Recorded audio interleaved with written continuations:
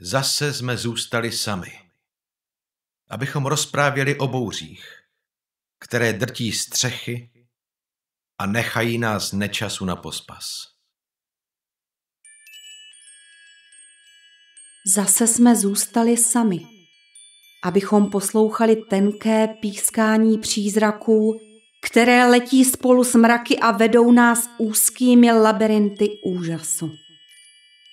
Zase jsme zůstali sami, abychom z trůnu sesadili jednotvárnost, která mučí čas neměnnými příkazy a hořkými ranami byčem je sjíždí.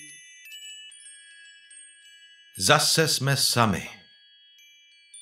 Abychom se zbavili naší slabosti. Promítali nové porážky do tohoto kousku pralesa. Vykoupali se v naději. A pogratulovali si k bratrství odolnému virům, které rozšiřují poměry.